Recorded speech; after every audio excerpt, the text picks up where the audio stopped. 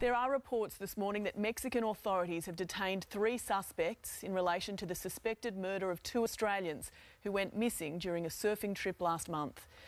The trio, all of whom are low level drug dealers, are believed to be part of a large gang responsible for a string of highway robberies. It's alleged the suspects shot the two Australians before setting their vehicle alight.